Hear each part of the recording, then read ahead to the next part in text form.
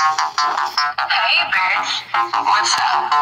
You know, I'd, I'd really like to do that, but I don't have any fucking money. Like, like, I don't have any fucking money. Do you really, really,